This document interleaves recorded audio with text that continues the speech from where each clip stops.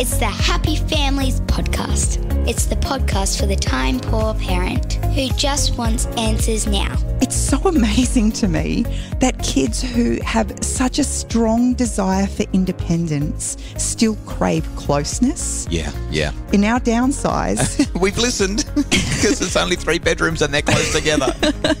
And now here's the stars of our show my mum and dad. It's Friday. We love Fridays. Hello, this is Dr. Justin Coulson, the author of six books about making families happier and the parenting expert and co host of Channel 9's Parental Guidance Season 2. Back a little later this year. Very excited about that. Uh, I'm here with Kylie, my wife, podcast pro partner, and mum to our six kids. And Kylie, today, as we do every single Friday, it's I'll Do Better Tomorrow.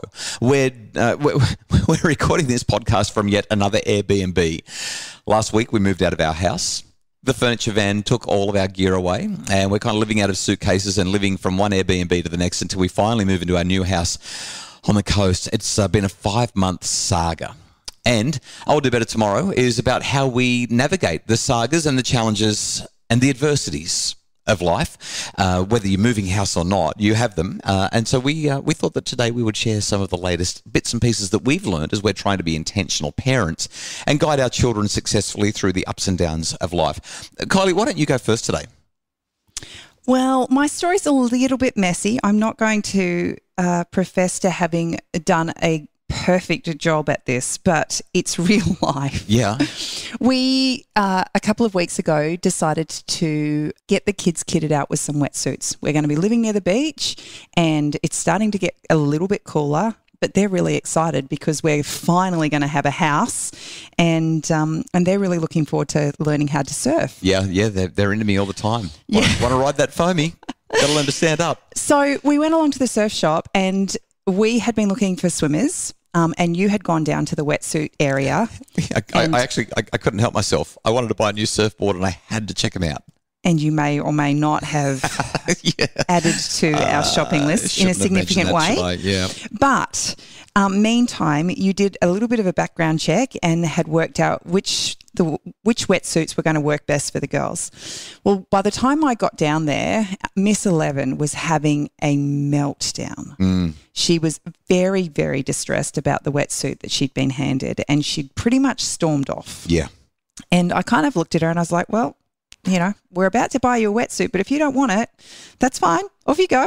And, and I've got to be honest, I was pretty impatient as well. Like, we'd been in the shop for ages and I've given her a wetsuit. Wetsuits are expensive. It was a good wetsuit. I'd been thoughtful about it and I knew that I was picking a good one for her. And when she stormed off in a half, I was like, oh, forget it. She, can- she can just go without. I'm, I'm not even, I'm not in the headspace for this. I was not one of my better parenting moments because I just, I just shrugged my shoulders and I didn't even bother chasing her.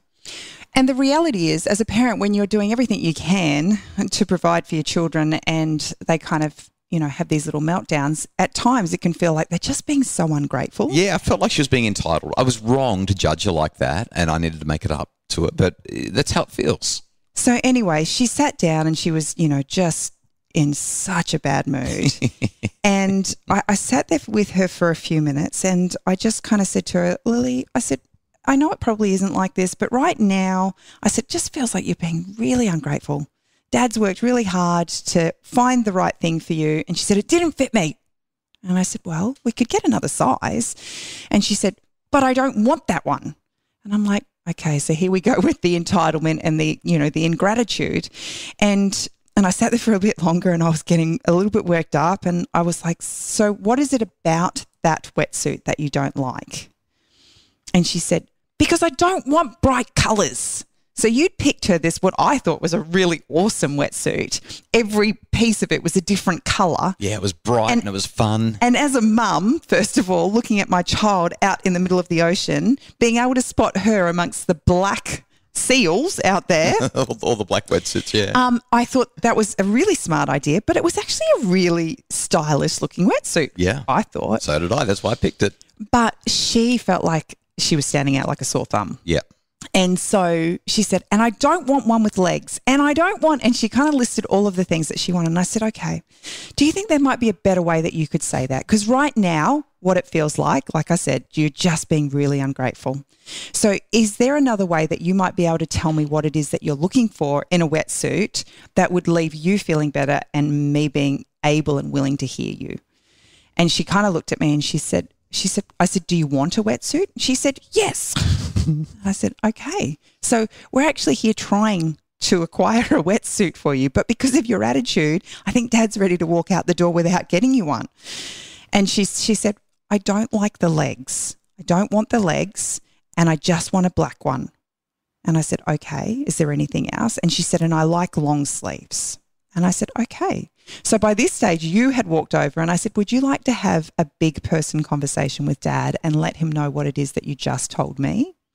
And she said, Daddy, I didn't like the wetsuit you gave me because I don't want to have those legs. I just want a swimsuit style one. And I really would like to have long arms. And I don't want it to be bright colors. I just want a black one. And at that point, you went, Oh, Easy. Okay, we can go do get that. one. Yeah, that's right. And so we went, she went along. They make picked, it so hard, Kylie. They make it so hard. I know I'm the expert. I'm supposed to get this right all the time. And I was just, oh, come on. I know. Uh, but now, now, some background here as well. I hate shopping. You do hate I shopping. hate shopping. So, But the reality, like I said, it was messy. I, I Mm. don't profess that we got it right, but it just took taking a step back because what we had in front of us looked like an entitled child who Yeah. was having a toddler tantrum. Yeah. But what it was was it her inability to express what she was feeling in a more appropriate way. So giving her the space that she needed to be able to do that meant that we actually had a very successful trip by the end of it and everybody walked out very happy. except me, I walked out very poor. But you know what I love about what you did, Kylie? And this, this this is beautiful. It's sublime. For anyone who's listening closely to the story, I hope that you picked up. What Kylie's done is moved Lily away. Well, Lily walked away, but Kylie's gone with her and gently sat beside her.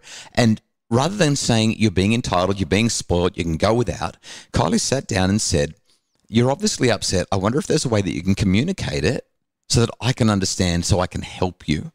And this is the whole purpose of discipline, right? When we teach our kids, when we guide them, we get much better results. And you've asked these really careful questions. How can we do this? You didn't tell her, you asked her. And, and that was that was the most masterful part of all of this. You didn't say you need to do this, you need to tell me, you need to be grateful, you need to blah blah blah. You said, what do we need to do so that? How can we? What might be better? Do you know what I mean? Like there was a gentle questioning that went through that that that interaction that really made it work. I, I think that it's worth going back and listening again. If you listen to the podcast, go back and listen again to the details of the conversation Kylie shared because it's really smart parenting. After the break, we'll find out my I'll do better tomorrow and how I can uh, try to be a better dad, especially at night time with kids that are needing some assistance. Get curious, not furious. Be where your feet are. Mistakes lead to mastery. High emotions, low intelligence.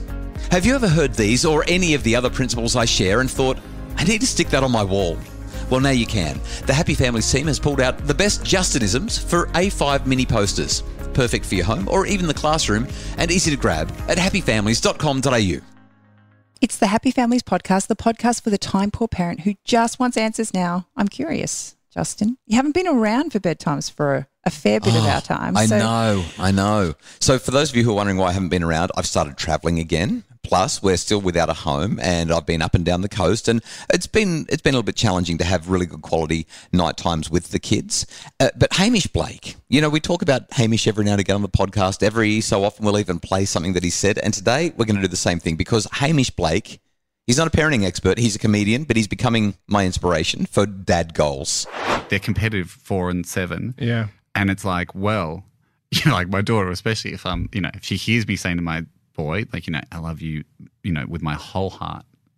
And Mm. that's, you don't ever have to do anything to earn that love, you know, at night time. Say the same thing every night. So I'm like, I love you just because of you. I love you. Mm. If she's feeling a bit competitive, you know, she'll roll her eyes and be like, well, then I guess you don't love me then. And you'll be like, oh, here we go. Okay. She's amazing. So I'll be like, no, Rue, but I love you with my whole heart. She goes, so then you don't love Sonny. Wow. And, like- I'm having these conversations at home at the and moment so, as well. so you like it forces you to. There's like lots of parenting stuff. Like, okay, what do I? How do I explain this to the kids? You're like, I have Sonny love that only he. That's for him because it's of who he is, and no one else can have it. I've never asked you who you love more out of Sonny and Rudy. I'll tell you off air because it can get it can be a spicy topic.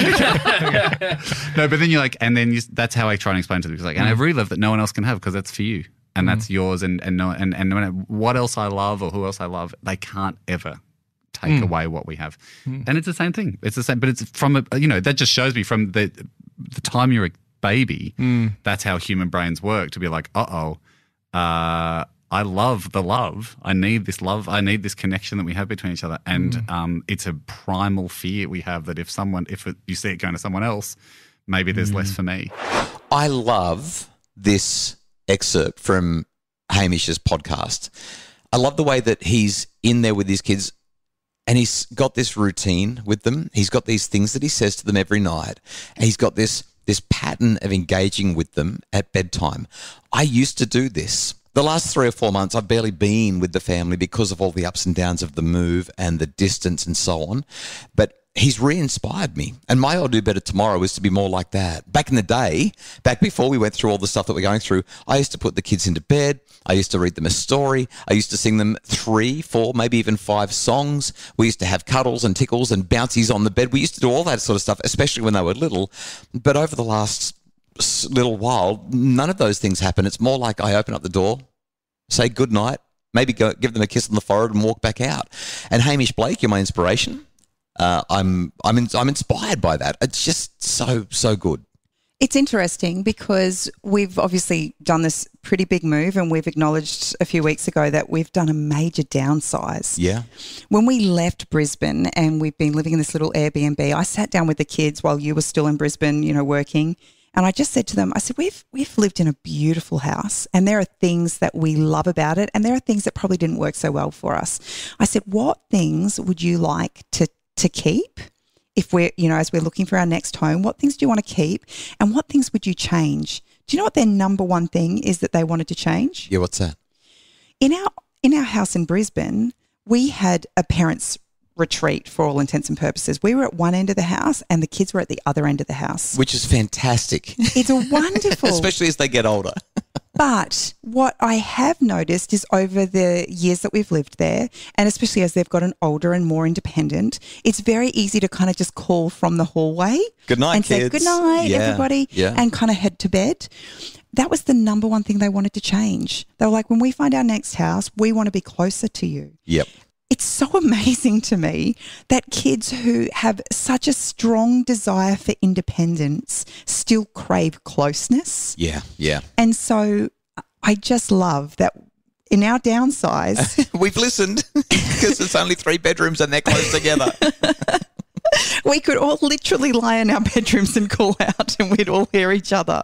Well, the take home message from today's podcast to help you to do better tomorrow is number one from Kylie uh, take the time out to sit down, listen, and gently guide rather than tell kids through their tough times. And from me, uh, that bedtime routine.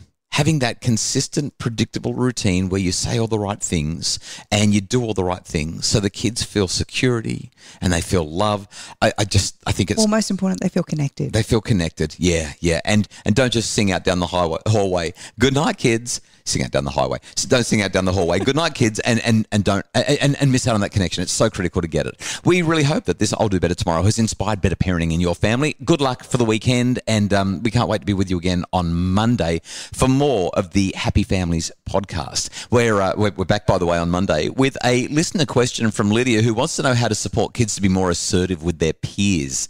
How do we help kids to get their way every now and again instead of being pushovers and being influenced by all the other kids around them? That's what we're talking about on Monday. And then I'm so excited for this. On Tuesday and Wednesday, we're talking all about vaping. It's going to be a really big week on the podcast. Can't wait to get into it. The Happy Families podcast is, as always, produced by Justin Ruland from Bridge Media. Craig Bruce is our executive producer.